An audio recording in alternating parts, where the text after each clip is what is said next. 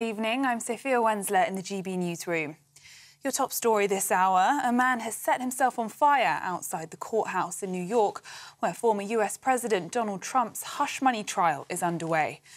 The man was in the designated protest area outside the Manhattan Criminal Court. The person received medical attention and was taken from the area. The circumstances are still unclear, and we will bring you more as we get it. The UK and Western allies are calling for de escalation in the Middle East after reports that Israel launched airstrikes against Iran. State media says three drones were shot down with explosions heard at an airbase near the city of Isfahan. No damage or injuries have been reported in the latest exchange. The strike is thought to be in response to last weekend's attack when Iran fired a barrage of drones and missiles at Israel. In other news, Scotland's former First Minister has spoken for the first time since her husband was charged by police. Nicola Sturgeon was questioned by journalists as she left her home in Glasgow. It's incredibly difficult, but you know that's not the main issue here. So um, I can't say any more. I'm not going to say any more. Um, Peter Murrell, who was the SNP's chief executive for more than two decades before standing down last year, has been charged in connection with the embezzlement of funds. Detectives are investigating how more than £600,000 in donations for independence campaigning was spent. The 59 year old, who is no longer in custody, has also resigned his SNP membership. The Met Police has apologised after an officer used the term openly Jewish to an anti Semitism campaigner who was near a pro Palestine march. A video clip posted on social media showed the moment Gideon Falter was threatened with arrest by police. You are quite openly Jewish. This is a pro-Palestinian march. I'm not accusing you of anything, but I'm worried about the reaction to your presence. The chief executive of Campaign Against Anti Semitism was wearing a kippah skullcap when he was stopped from crossing a road near the demonstration in London last Saturday. The Met Police Assistant Commissioner said the officer's poor choice of words was hugely regrettable and five Just Stop Oil protesters have been convicted of aggravated trespass after they disturbed a performance of Les Miserables in London's West End last year. The performance was stopped when activists stormed the stage and locked themselves to the set. An audience of around 1,000 people was asked to leave the venue and the performance was cancelled. The court was told the action cost the theatre an estimated £60,000. And for the latest stories, sign up to GB News Alerts by scanning the QR code on your screen or go to gbnews.com slash alerts. Now it's back to Mark.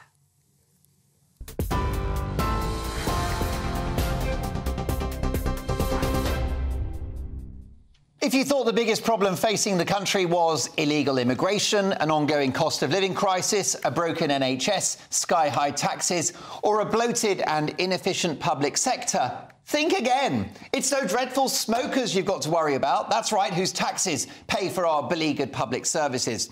This hasn't stopped born again socialist Rishi Sunak wasting parliamentary time and annoying half his own party with a very unconservative and probably unenforceable smoking ban on people born after 2009.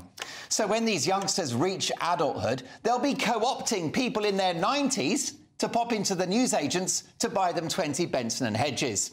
Is it any wonder that Rishi Sunak's premiership is going up in smoke? At the fag end of 14 years, things couldn't be worse for the beleaguered PM, with yet another sorry tale of a Tory MP caught up in a compromising position.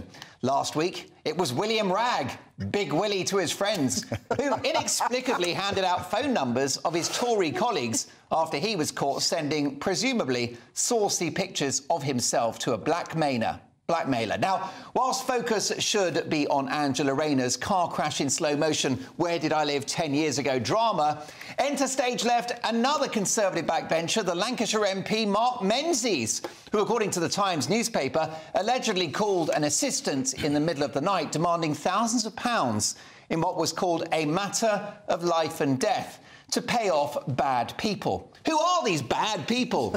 are the Tory backbenchers? He was even allegedly locked in a flat, presumably one of the flats that we pay for. It's also alleged that £14,000 given by donors for campaign activities was transferred to Menzies' account for medical expenses. What are those medical expenses? Was it a kidney transplant, back surgery, bum lift? Menzies denies the charges and he's now lost the Tory whip. That sounds like an early punishment. I imagine he quite likes the whip.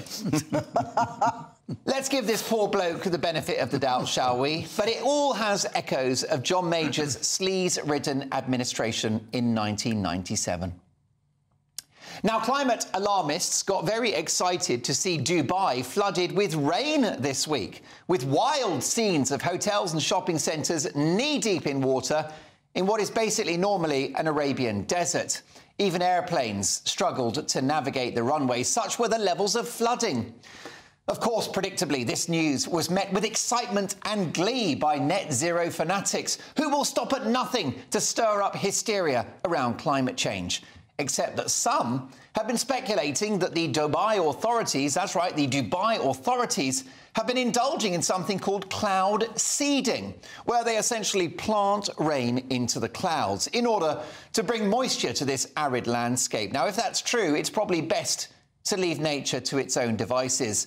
The same could be said for a certain virus laboratory in Wuhan. Mm. Meanwhile, the climate cult will continue to seize on any unusual weather to prove that the world's going to have blown up by next Tuesday. The fact that we're all sat here shivering in April doesn't really help the climate change cause, does it? Yes, the Earth is heating up, and yes, we should clean up the planet and go green in a sensible way, with the likes of China pulling their weight.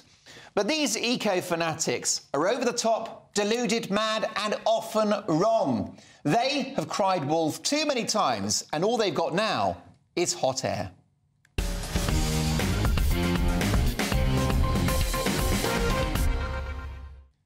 Well, for full reaction, my Friday A teams Sajeela Kershi, Tony Cottee, and Nicholas Owen.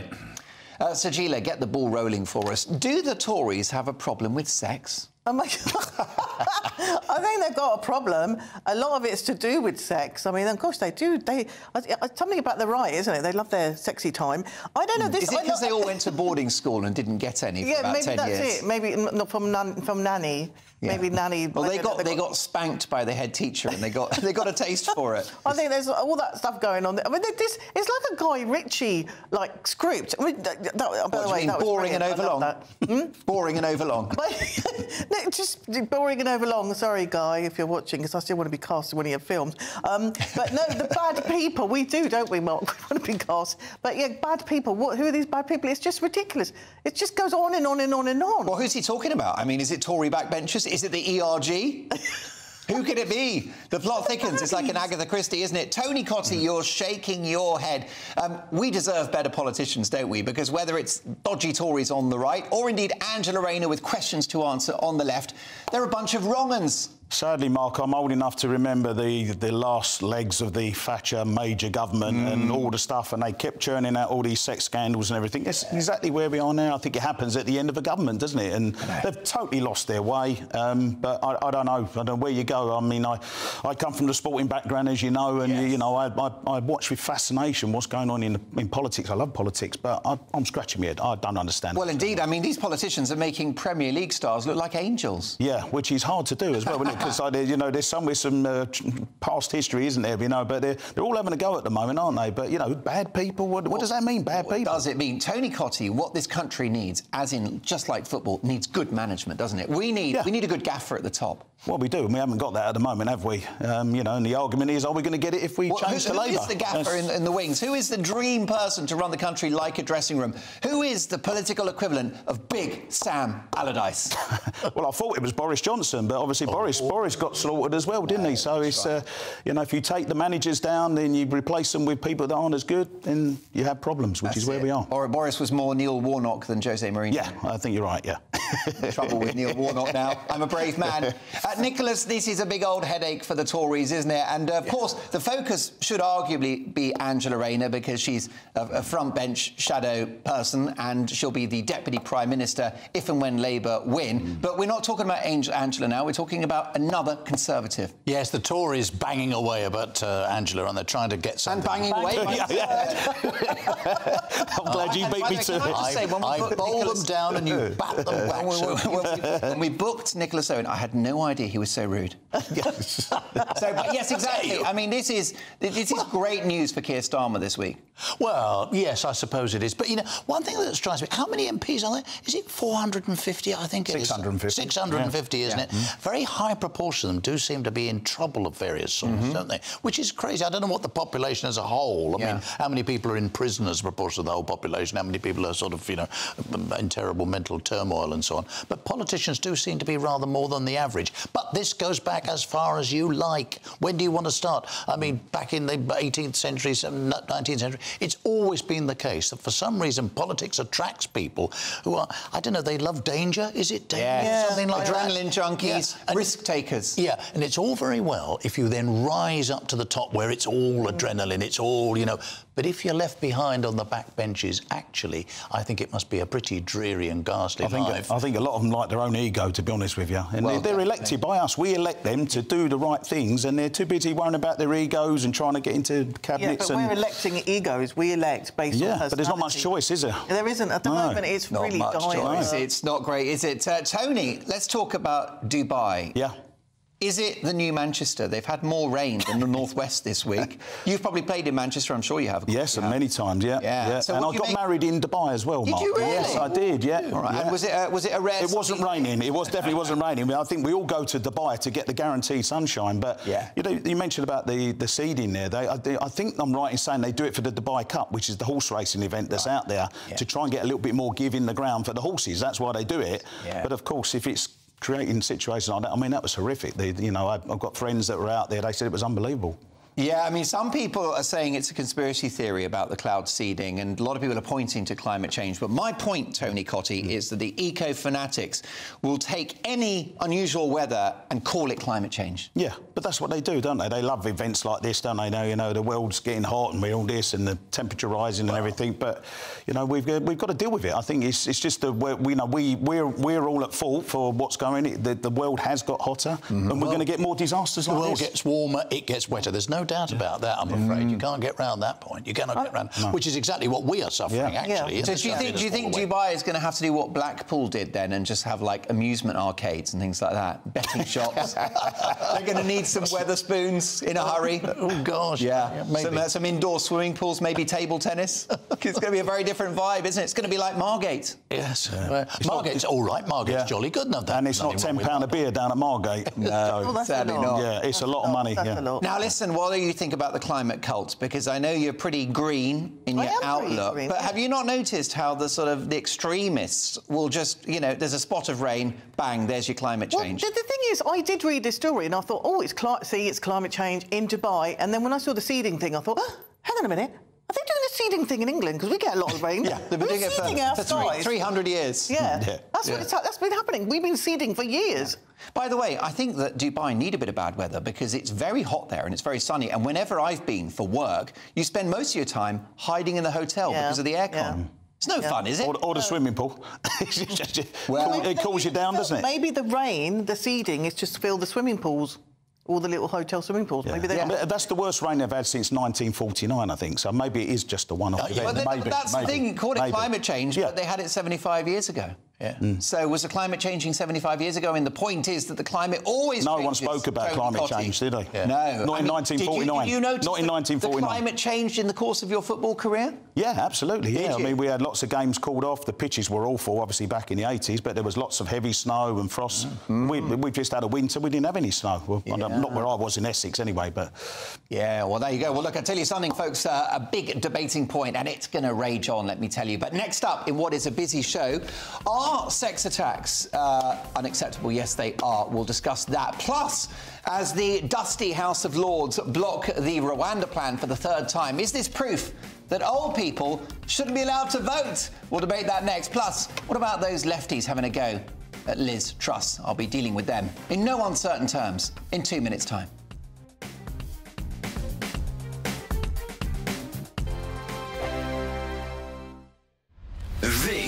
Is GB News, Britain's news channel. In every corner of the world, people celebrate English tradition and values as members of the Royal Society of St George.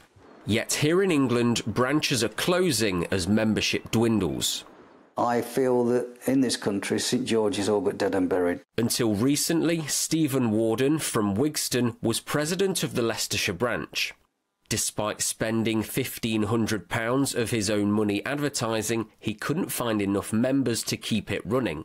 I did everything humanly possible to get new members into the branch from the local environment, but they were just not interested in joining. He thinks changing demographics and declining interest in the society's values contributed to disappearing membership. But he also blames political leadership at national and local levels. Stephen claims his proposal for a St George's Day parade was repeatedly rejected by Leicester City Council over 10 years. A celebration is planned for St George's Day, but like most cities and towns, no parade will pass through the streets.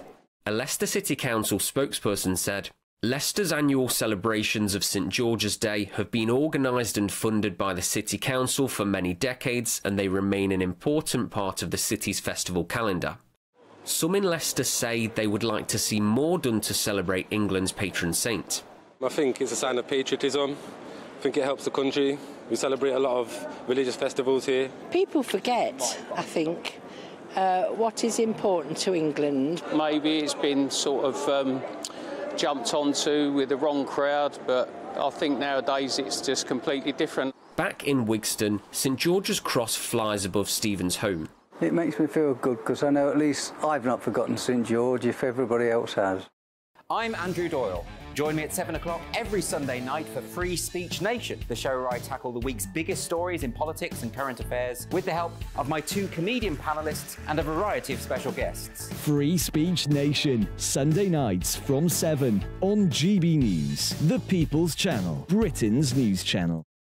Every Sunday from 11, join Michael Portillo. There'll be topical discussion, looking at the week before and the week to come. So kick back and relax at 11am on Sundays on GB News with me, Michael Portillo. GB News, the People's Channel, Britain's news channel.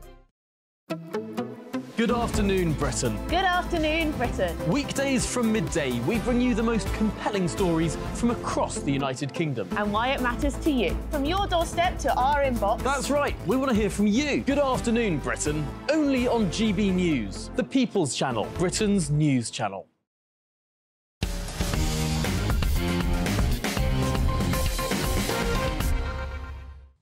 Liz Truss has a book out in 10 years to save the West. She says the deep state is thwarting the democratic will of the people, conniving to give us open borders, keep taxes high, and allow woke nonsense like gender ideology to embed in our public institutions. Lots of arrogant male commentators have been sneering at what she had to say in a way that I think is a touch sexist. Meanwhile, the rest of us are just wondering what this radical woman might have actually achieved if she'd been given more than 44 days. Yes, she cut a comical figure at times, but that's nothing compared to the clowns that will be running the country in a few months' time. Sajeela Kershi, Tony Cottee, and Nicholas Owen are my Friday A team. Nicholas Owen, I think there's sexism at play here. I don't like the beating up on Liz Truss. What do you think? Uh, there is an aspect of that, yes. I mean, I think that the, the Liz Truss is this: she got there, she had radical, very, very radical ideas, wanted a tax cut, tax cuts, get people back into work, and all the things that we talk about. All jolly good ideas uh, appallingly executed. I mean, that's mm, what happened, wasn't correct. it? I don't think it's sexism, really. No, I don't think so. I just think she was um, just couldn't put it over, just couldn't turn it into reality. That was the trouble. But is she the best prime minister we never had? Do you think that Rishi Sunak should use her as some kind of political resource? Should she go back in the cabinet? That would put a cat among the pigeons. Yeah, I don't think I, the, the, game she's playing is quite clear, isn't it? She wants expecting Sunak to be off. He goes off mm. and continues making money in the way that he did before, which is fine, jolly good, good for him and the tiny rump of the Tory party. Rump again? Rump? Oh, you missed you missed one. I got one past him. I got one past him. The run of the Tory party will be Family show, Nicholas, Yeah. Oh, is it? Oh, it's turned into a family show now. Better late than never. What time is it? Oh, yes, it is. Anyway, um, uh, it, the, the, the small amount of the Tory party that's left will be looking for a new leader, will it not? And it might just be there are enough um, uh, headbangers of one sort or another on the right uh, who will say, well, why don't we have a go with mistrust? There's a thought, isn't it? Oh my God, bring back trust. What do you think? Oh, I don't know. I think she should have. she Second a trick. coming. She missed a trick with her book. I think she should have called it Letters for Number 10.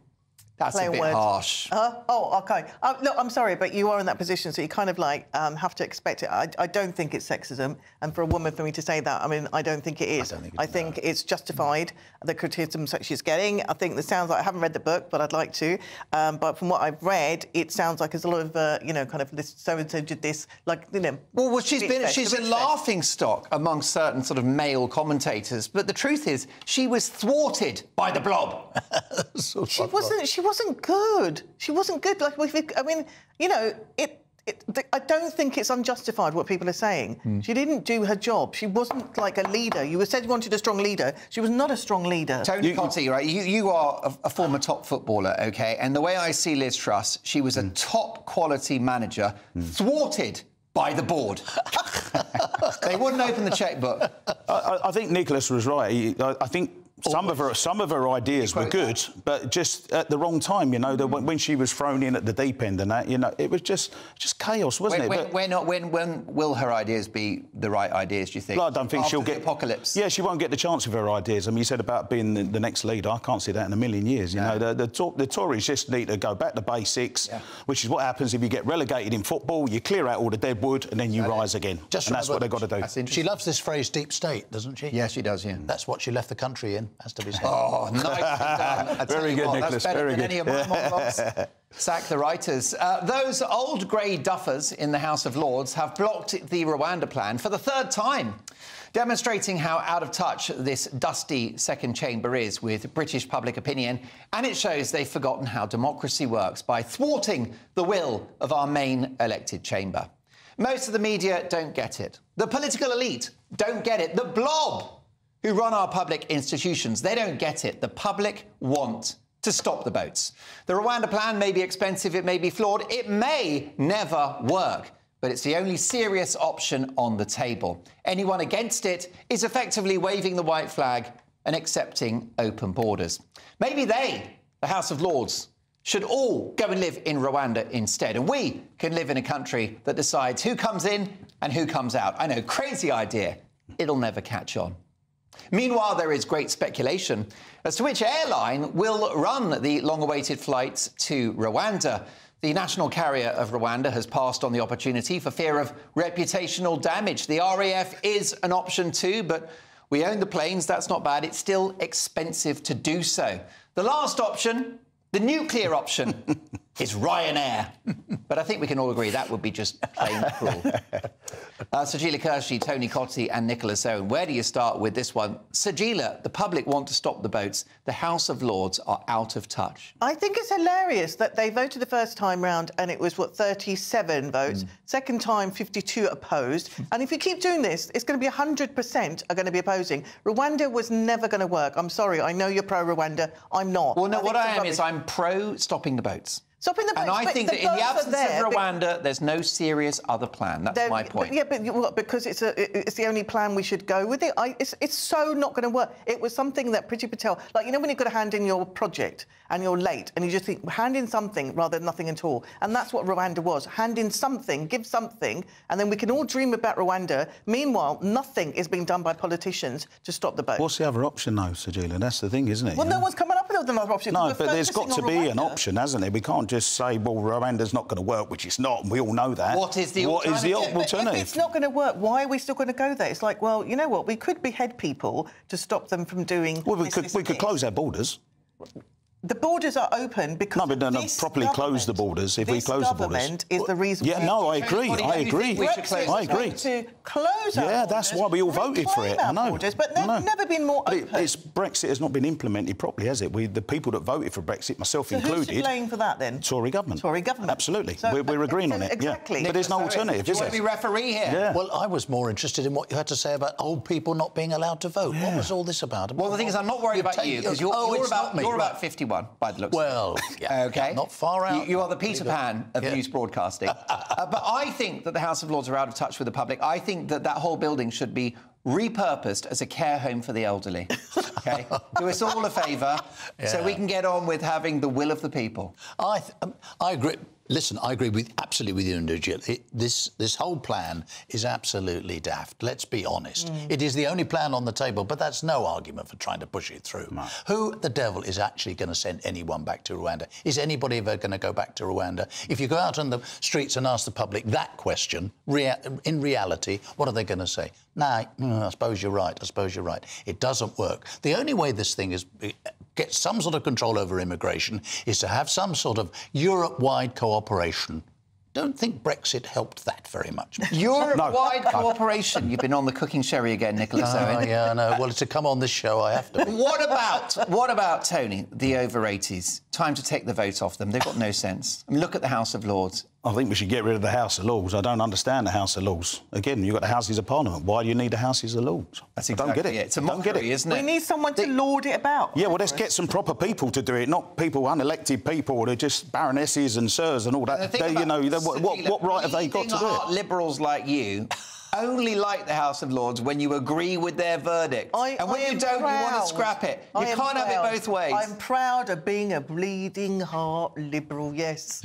bring it on, bring it on, I say. But your crowd love the House of Lords when it agrees with them and want to scrap Yeah, it when it doesn't. we're, we're, we're all the same. We're all the same. No one's different. The left, the right. Double we, standards. We cherry pick. We cherry pick, right? We all do. I own it. Never. Uh, listen, lots more to come. Let me tell you, another howler from the BBC. You won't believe it. And yes, it's costing us millions. And as they try to lure back young Brits, is the EU behaving like a crazy ex girlfriend? You're watching Friday Night Live with Mark Dolan on GB News, Britain's news channel. We'll be dealing with the BBC next. Hi there, and welcome to the latest update from the Met Office for GB News. Skies clearing overnight, most places fine as we start the weekend with high pressure in charge. That high pressure moving in from the west.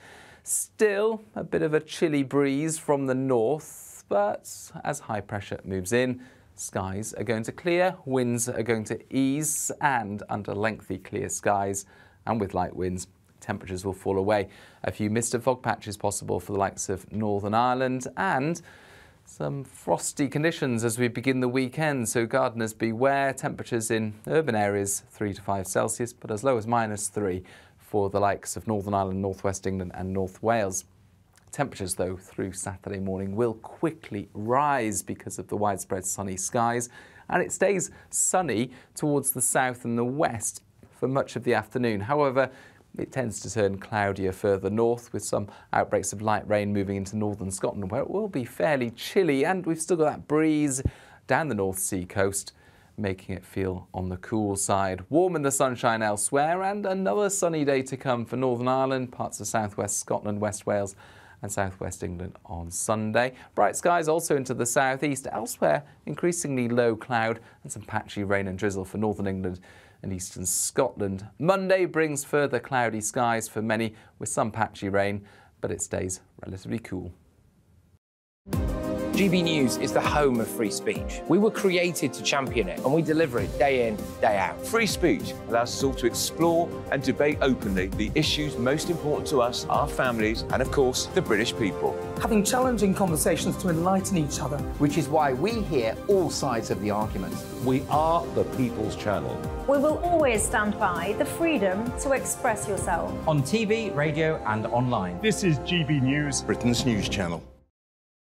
I think the most exciting bit for me is talking to people. People who I think are ignored often by the major news channels we're going to give news they want to hear. There's a voice there that needs to be heard. I think there's a chance here for a diversity of opinion to be expressed, which you don't find elsewhere. It's really exciting. We don't hold back. We're free to say how decisions that are taken here affect us all around the country. Only on GB News, the People's Channel, Britain's news channel.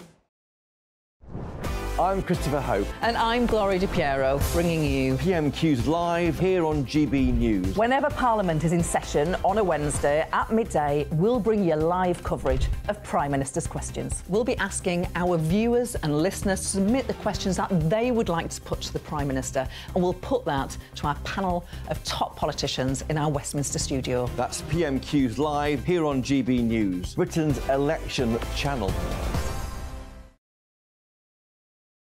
We're GB News, and we come from a proud tradition of British journalism. That's why I'm so excited to be here. It's something so new. The first news channel to be launched in Britain in over 30 years. Launched to represent the views of the British people. To go where other broadcasters refuse to go. How did you find out about the story in the first place? Launched with one aim to be the fearless champion of Britain. It's an absolutely fantastic atmosphere here. This is GB News. GB News, Britain's news channel.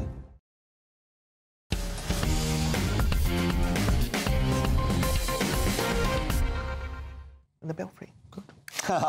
There's trouble in paradise, folks. BBC newsreader Martine Croxall is taking legal action against the corporation for age and sex discrimination, as she's been off TV for the best part of a year.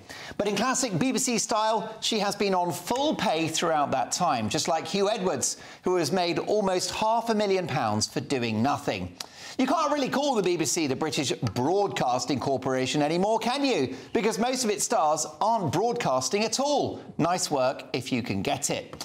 With me tonight, my Friday A-team, Sajeela Kershi, Tony Cottee, and ex-BBC star Nicholas Owen. Mm. Nicholas, mm. how do you solve a problem like the BBC? So you've got this brilliant presenter, Martine Croxall, Yes. probably a friend of yours. I do know Martine very well. colleague. Yes. She's, she's, Yeah. she's got her chops, hasn't she, as, as a presenter?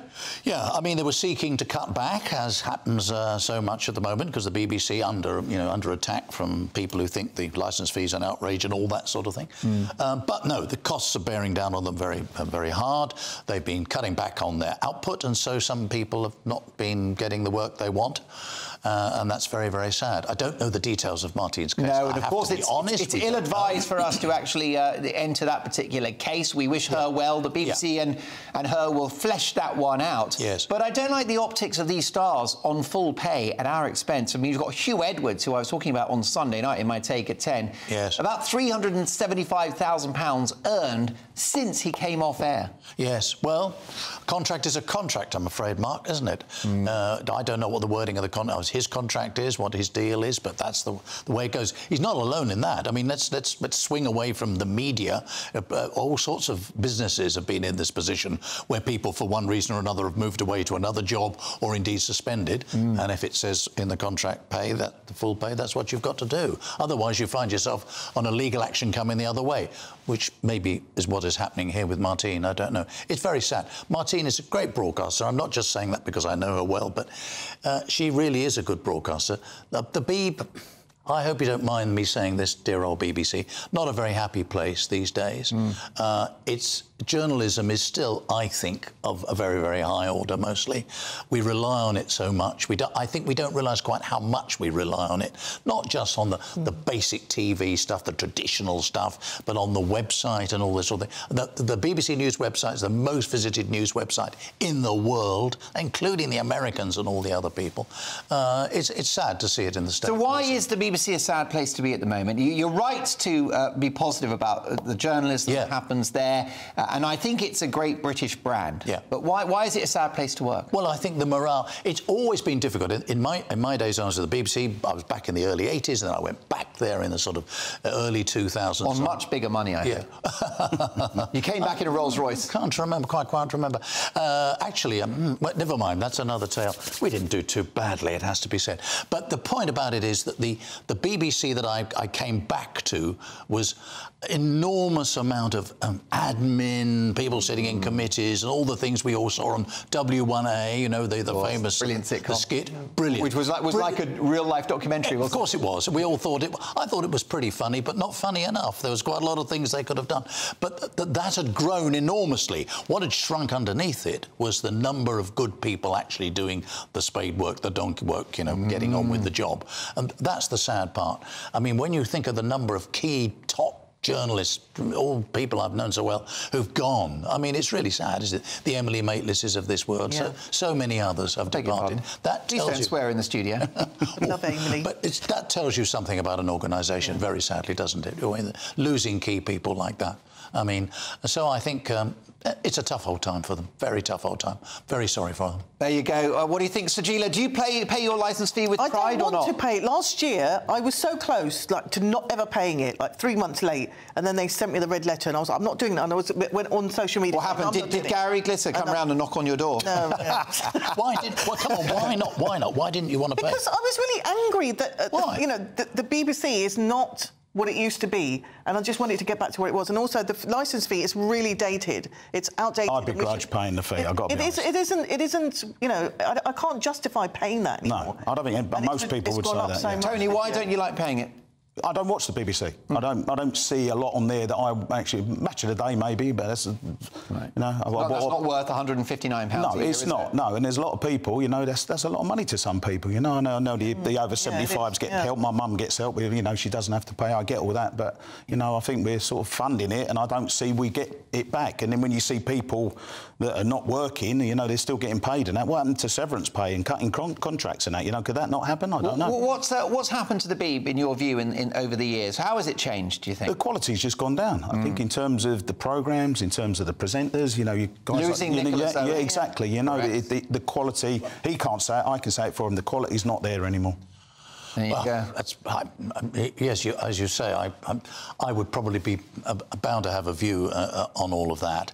Um, but uh, uh, seriously, do we, we want to lose the BBC in its current form? Do we really want to do it? I, I, I'm, I'm willing to say straight away it does too much. I'm sure it does too much. Commercial radio, for example, which now has a majority of the audience, that shows you the way that is going, I'm pretty sure.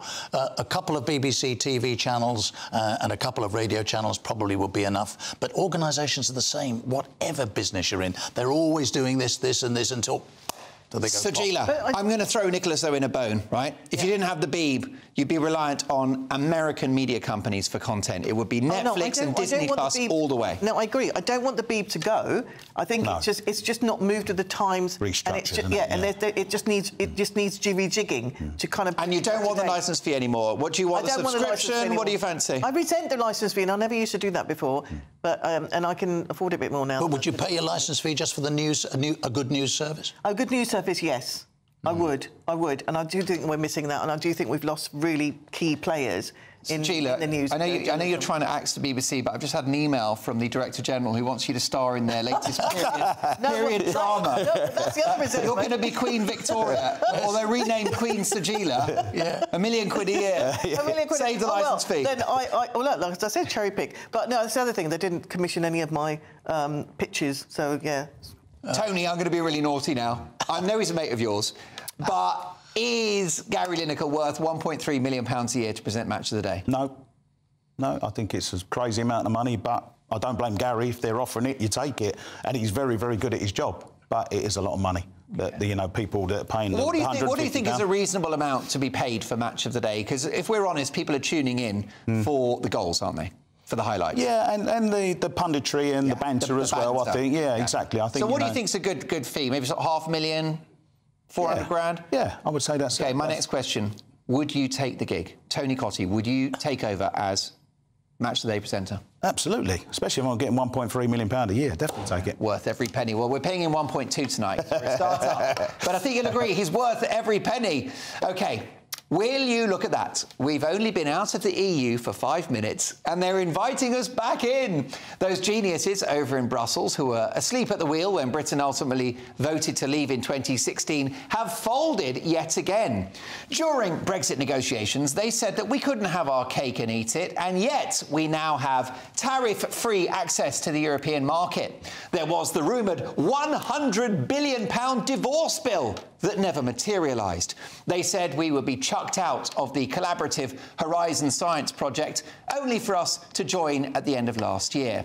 They said that the dreadful backstop, remember the backstop which worked against Northern Ireland, they said it couldn't be thrown out. It was gone in months. And now technocrats on the continent want to invite young Brits to have freedom of movement in Europe. The so called Youth Mobility Scheme would allow young Brits aged 18 to 30 to go to Europe for up to four years to work, travel, and study, and for their youngsters to do the same here. Well, that sounds like they want us back. So that's access to jobs and residency in Europe without paying huge monthly sums or following any rules. That's what I call having your cake and eating it. The UK is fast becoming Britain's friend with benefits, like an ex that's accepted that you've moved out, but is willing to have you back for a bit of hanky panky when things are a bit quiet in the bedroom. this flirtation is the best of both worlds for the Brits, and the Remainers, desperate to cast our departure from the bloc as a disaster, are absolutely screwed. Tony Cottee, they want us back. The EU is like a crazy ex girlfriend that mm. won't let it go. Yeah. I'm not a lover of the EU, got to be honest. But um, yeah, I, as I said, with Brexit, I, in principle, I think it was a good idea. Just don't think it's been carried out in the right way. Is it still better than where we were before we left? Would you take what we've got over Remain, Tony Cottee? Mm, no, because I, I, think the, the gist of Brexit was immigration, wasn't it? You know, mm. and I think that was the people were moaning. A lot of people, particularly the older generation, my mum's generation, they were moaning about the, the state of immigration. And it's gone up was, since then. Yeah, exactly. So it's something's gone drastically wrong because what they voted for is not what they've been given, and you, the argument now is it's a lot worse than what it was in 2016. Mm. That was a, that was a false Nicholas. prospectus, yeah. wasn't it? Come on. Yeah. Yeah. Brexit was never going to do anything about it, nothing to do with immigration. It got the two things got completely mixed up. Well, are you in principle? you have control of your borders. We just haven't capitalised on that, yeah. Yeah, well, I think that's right. Do you not Probably. think it was about immigration then, Nicholas? I think, it, I think the I public think, thought it was about immigration mm. and the politicians made them think it was about immigration, but in the end it wasn't. All it's... I'm, I'm sorry, this is GB News, I know, and I'm allowed to say things. It's things, a broad yeah. church, Nicholas. It's a broad church, right. With some very weird priests in it. OK, priests, well, listen to this. I just think the whole thing was was a badly conceived idea. It's all very well to talk about oh some of the, the you know the, it, we haven't made the best advantage of what we were given and mm -hmm. so mm-hmm. on. You ask people who are importing, trying to import goods. You ask people who try to send packages abroad, send something to their you know their auntie in Rimini or somewhere like that. You go to the post office and I'm sorry you've got to fill up this form, that form. That that's the reality of what has happened. Isolating us from Europe has been a damn bad idea. Well, I, I beg to differ, Sajeela, because I voted Remain, but I think there are many advantages to Brexit. It's an insurance policy against being in the euro, which Tony Blair tried to make happen before Gordon Brown came up with his seven tests that could never be fulfilled. Also, if you look at stopping the boats, you could never stop the boats if you were in the EU. The UK at the moment is considering leaving the ECHR. That would not be possible as a member state of the EU. Yeah, but so actually, the Brexit benefits are better than people think. Yeah, I don't, I don't see them as benefits at all. I, am in complete agreement with uh, Nicholas. I don't think, I don't see the benefits. I think it's been disastrous, and I think we need to accept that. We were what misled. We were misled. So we, have had, we've had a shallower recession than Germany and the eurozone. We couldn't stop the boats. We haven't stopped the boats. We're not going to stop. And it would boats. be even harder if we were in the EU. It's, it's, it's, hard now. No, the French right. have actually colluded with all the boats because it's like, oh, you know, we don't care. Let let the boats go. They're probably watching. Didn't realise there so them, many pushing... Nigerians in France. well done you. Got older, older Mike Yarwood here, uh, voice. But I, I, I, you know, I'm a Remoaner. I, I, would never moaned about it though. uh, but I'm just saying. And yes, we have got it, but we have done it. By the way, what we need to do. Look, I take your point, right? But let me ask you this: the EU is behaving like a crazy ex-girlfriend. I she agree with doesn't that. get the memo. We've left. We don't love you anymore. But, we've moved on. But I will take we've, that. We've met someone called Jacob Rees-Mogg, and we're very happy. Well, I think our young should go. And he's a great lover. But what happened to interrailing? You see, interrailing was caring lover. We, we, you know, and that's what lovers do. They go interrailing. So, but I'm annoyed that it's only 30. So after 30, we can't do anything. Yeah. We, uh, Tony Cottee, I'm delighted to say the UK have rejected this flirtation from the EU because it I think is freedom of movement by the back door. And well done, Labour have also rejected it. Mm. But it speaks volumes that the EU are calling us back, don't you think? Yeah, and they, they need us more than we need. That. Absolutely, and there's other countries I think that are considering leaving the EU. And they've seen what's happened with us. I'm not saying it's right what's who, happened who do you over. think's leave, are going to leave then? I think there'll be other countries that would love to. Who- who do you well, they're think? going to. There's lots of elections coming up, and we'll see what happens. What do you think? Who, who might leave? Poland, certainly. Well, Uh, Poland, but we're talking about a country that is drifting, mm, you know, to a right-wing place that I don't think we would very much uh, Necessarily like. appreciate. Well, let, us be clear. One of the things that happened with Britain leaving the European Union, we weakened that union itself as well considerably because we were a major player. I know it cost an awful lot of money and so on, but we were a major player. By coming away from it, we've made that block less successful hmm. altogether. You tend to forget that. It's a two-way thing. Two-way. Well, darling, I know you want us back, but let me tell you, the relationship's over. We've moved on. We've got Nigel, we've got Jacob, and we've got a few others as well. Is it wrong, coming up, is it wrong to speak ill of your exes? It's a brilliant story. You won't want to miss it. And why have the supermarket Iceland cancelled mums again? We'll debate all of that next on Friday Night Live.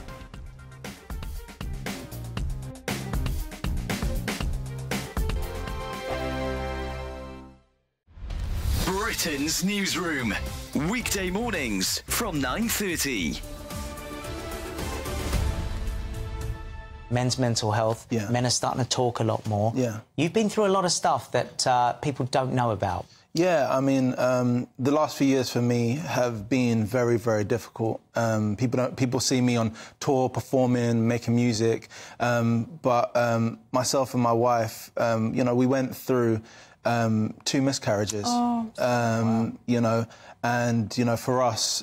That was a very devastating mm. time and very difficult to, to to know how to kind of process those emotions. Mm. And I guess as a man, I, I did the thing of bottling up my emotions and where I feel comfortable to to be able to express myself is in the studio. Whereas, you know, she had obviously a different reaction to, you know, what happened to us because not only was it happening to her mentally, psychologically, but it was happening to her physically as well. And I think what something that she really would wanted to see from me was that sensitivity and that emotion. And I thought that as a man, being strong was trying to bottle up my emotions and just show her that no, you know, that I'm, I'm being strong for her. Mm. But actually, being strong was is talking about it. Mm. And what's happened ever since I've started to talk about it is I've spoken to more men that have experienced baby loss. My wife forced out of me, you know, how do you feel? And I end up as a mess on the floor. I was exasperating, crying, almost inconsolable. She was just holding me in her arms um, as we cried together, and we cried together.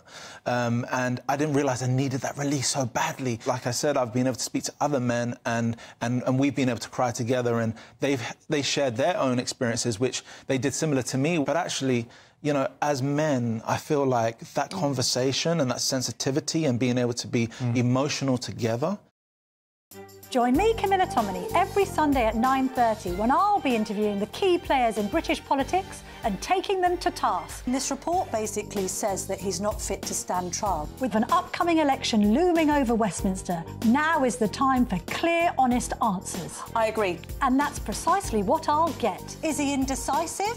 Incompetent? That's the Camilla Tominey Show at 9.30 every Sunday on GB News, the People's Channel, Britain's election channel. Good afternoon, Britain. Good afternoon, Britain. Weekdays from midday, we bring you the most compelling stories from across the United Kingdom. And why it matters to you. From your doorstep to our inbox. That's right, we want to hear from you. Good afternoon, Britain. Only on GB News, the People's Channel, Britain's news channel. I'm Stephen Dixon, and thanks for joining us on GB News, Britain's news channel.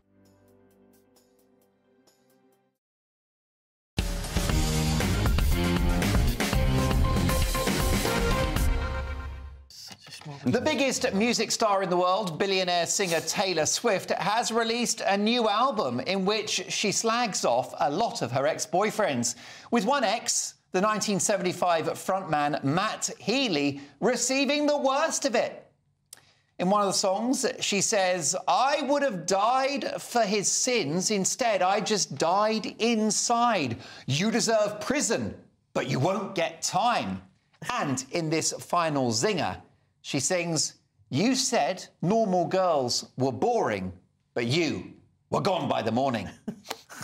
Now, not exactly Oscar Wilde, Bob Dylan, or Cole Porter, I'll grant you. And while she is one of the most popular singers in the world and one of the most beautiful women on the planet, potential future boyfriends must be quaking in their boots. Forget to empty the dishwasher or remember her birthday, and you'll be making up the contents of her next album. Be careful, lads. You could be swifted. In my opinion, you'd probably be better off with Britain's Got Talent superstar Susan Boyle. No stunner, I'll grant you, but she knows how to make a good Sunday dinner. And she won't spill the beans in her next album when you do the dirty. Sajeela Kershi, Tony Cottee, and Nicholas Owen are with me. They are my Friday A team. Uh, Tony Cottee, should you speak ill of your exes? Um, it depends what's happened, Mark, doesn't it? You know, I mean, I, I, I thought most songs are written about exes mm. and historic events and what's gone on in your life. So this, this should be a big deal about Taylor Swift writing about her ex-boyfriends. There's been quite a few British ones as well, weren't there? And let me yeah. tell you, Susan Boyle is a very fine-looking woman in her own right, a very beautiful lady, a great singer. Uh, I think she'd make a better spouse than Taylor Swift because she's not going to write lyrics about you in her next album. Oh, what you said, you're going to have the dinner on the table and everything. I think, yeah, I think- very I feel- homely. I think I, get the impression, you Do know. you feel that Susan Boyle is old school? Yeah, definitely. Yeah, and Taylor's a, a modern lady, and Hmm. like you say, she's lovely looking and everything, but she's entitled to write her songs and do what she wants. What, what would you say are the issues with the modern lady? Because I don't think that you get bang for your buck like you used to in, in the sort of Susan Boyle era. What do you think? I, I don't So know did say that, didn't he? He did it say that. bit sex- like, I don't know what, what you mean, but I do think that you write what you know. And hello, as fellow comedian, right? We write. You know I'm joking. We write jokes about our exes. Exactly right. So that's even worse. Yeah, that's very true. You write Yeah, whole yeah. stand-up routines about them. Well, uh, but do you think do you think uh, do you think that she's wrong to write these words about ex-boyfriends because they could be quite offended and quite upset, couldn't they? Well, they shouldn't have treated her badly then, should they? But I don't know. I just, You should be able to laugh and joke about exes, shouldn't you? You I don't know. So this lady's, uh, you know, my, my knowledge is a little thin here, but she's an enormous star, worked enormously hard, got done done very very well indeed. When has she had time for all these boyfriends? When when does all that a lot happen? Of boyfriends. She's Has had she? a lot of boyfriends. Yeah. But I mean, they could only last about sort of five minutes or so before. Speak for on. yourself, Then- Nicholas. Yeah. now, popular supermarket Iceland. Careful. Uh, popular supermarket Iceland have cancelled mothers. Now, I don't mean like the NHS with birthing humans and chest feeders. The famous slogan, Mum's Gone to Iceland, has been ditched because the supermarket wants to convey a message that the shop is open to all. Absolutely. And let's be honest, Mum hasn't got time to go to Iceland now with the cost of living crisis. She's holding down two or three jobs, and thanks to inflation, even a trip to this low cost outlet feels like a visit to Harrods. If Mum, whoever she is, had any sense, she'd go to Iceland, the country, not the supermarket. Lower prices, better quality of life, and the cod there isn't frozen. Sajeela, Mum's been cancelled by Iceland. Mum's been It has cancelled happened by before, Iceland. by the way. I, uh, sorry? This happened before in a previous campaign. Yes, it did. It did. But I, I don't understand why it always had to be mums gone to Iceland anyway. Why are the mums going shopping? Why aren't the men going shopping? Why aren't the kids going shopping if they're old enough? You know, it's like, why do mums have to do everything? In the old days, the mums were at home though, Sajeela. In the old days, I'm the talking, old days, yeah, they're at home, yeah. can And the man was going then. to work, and that was why mum's going to Iceland, wasn't if it? you're You know. at home, then why are you buying frozen food? Cook food from fresh. Yeah, I agree Yeah, with that. 'Cause- Yeah. I mean, sorry, Yeah. Iceland, Is it cheaper um, frozen food? I don't know. If it's cheaper, then you might go there don't because it's cheaper. I don't know. It so- is, it is cheaper because it's frozen. You, rem- you and I remember the slogan? Yeah, absolutely. A million housewives every day. Pick up a tin of big housewives. They don't hear that word anymore, do you? Oh, Nicholas Owen, when you oh said a million housewives every day. I know that you're a popular man and a TV legend. Indeed. But even that figure impresses me, I've got to say. Uh, listen, thanks to my brilliant Friday A team, Sajeela Kershi, Tony Cottee, and Nicholas Owen. We've got so much happening on Mark Dolan tonight this weekend. Tomorrow, the Green Goddess Diana Moran, the Hamiltons, and Tom Bower on Sunday, Ann Widdecombe, and a Mark Dolan Tonight exclusive story. Plus, on what would be her 98th birthday, we'll speak to Queen Elizabeth II's favourite photographer. That's a really busy weekend of Mark Dolan Tonight, 9 to 11 tomorrow and Sunday. Ben Leo is looking after the chair for Patrick Christys. Looking forward. Ben, what have you got? Yes, thank you, Mark. Great show. Uh, look, the Rwanda fiasco, I think it's a massive red herring. I think we should just turn back the boats back into Australia in the mid 2000s. It can be done safely, it's lawful. I'm going to get stuck into that at the top of the show. Also, the Canary Islands. They don't want us there. They hate the Brits. They want the tourism to go away. Is it time to boycott the Spanish and holiday at home? And also, even Nigel Farage reckons Winston Churchill couldn't save the Tories from oblivion. Tory MP Andrea Jenkyns, she's with me very shortly. Brilliant stuff. Looking forward to Ben Leo from 9. As I say, a busy weekend of Mark Dolan tonight. See you tomorrow at 9. Keep it GB News. Here's your weather. That warm feeling inside from BOXT Boilers, sponsors of weather on GB News.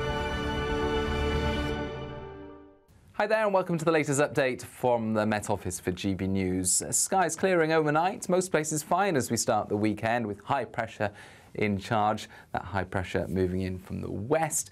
Still a bit of a chilly breeze from the north, but as high pressure moves in, skies are going to clear, winds are going to ease, and under lengthy clear skies and with light winds, temperatures will fall away.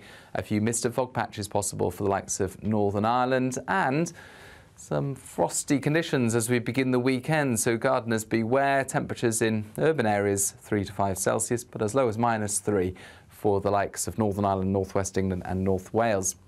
Temperatures, though, through Saturday morning will quickly rise because of the widespread sunny skies, and it stays sunny towards the south and the west for much of the afternoon. However, it tends to turn cloudier further north with some outbreaks of light rain moving into northern Scotland where it will be fairly chilly and we've still got that breeze down the North Sea coast making it feel on the cool side. Warm in the sunshine elsewhere and another sunny day to come for Northern Ireland, parts of southwest Scotland, West Wales and southwest England on Sunday. Bright skies also into the southeast. Elsewhere, increasingly low cloud and some patchy rain and drizzle for northern England and eastern Scotland. Monday brings further cloudy skies for many with some patchy rain, but it stays relatively. Looks like things are heating up.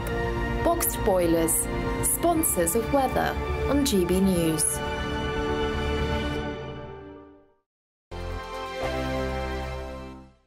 Don't miss your chance to win our biggest prize so far. There's an incredible £10,000 in tax free cash to spend however you like. Plus, courtesy of Variety Cruises, a bespoke seven night small boat cruise for two worth £10,000. With flights, meals, excursions, and drinks included, your next holiday could be on us. Choose any one of their 2025 Greek adventures and find your home at sea. We'll also send you packing with these luxury travel gifts. For another chance to win a prize worth over £20,000, text prize to 63232. Text costs £2 plus one standard network rate message. Or post your name and number to GB04 PO Box 8690 Derby DE1 9TT.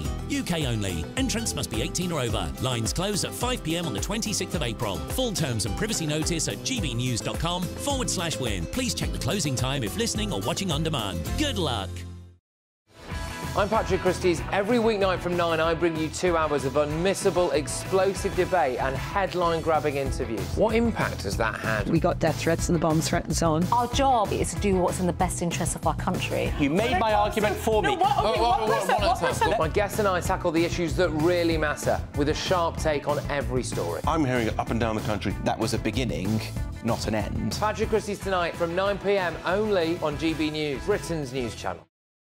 2024, a battleground year. The year the nation decides. As the parties gear up their campaigns for the next general election. Who will be left standing when the British people make one of the biggest decisions of their lives? Who will rise? And who will fall? Let's find out together. For every moment, the highs, the lows, the twists and turns. We'll be with you for every step of this journey. In 2024, GB News is Britain's election channel. GB News is the home of free speech. We were created to champion it, and we deliver it day in, day out. Free speech allows us all to explore and debate openly the issues most important to us, our families, and of course, the British people. Having challenging conversations to enlighten each other. Which is why we hear all sides of the argument. We are the People's Channel. We will always stand by the freedom to express yourself. On TV, radio, and online. This is GB News, Britain's news channel. Every Saturday, 10 till 12, we'll bring you all of the news that you need to know. We'll also remind you that there is so much to smile about. It's my favourite time of the week. I get to relax, enjoy some light-hearted stories, and let Ellie teach me about fashion too. That's Saturday Morning Live, every Saturday, 10 till 12. Only on GB News, Britain's news channel. I'm Isabel Webster. Thanks for joining us on G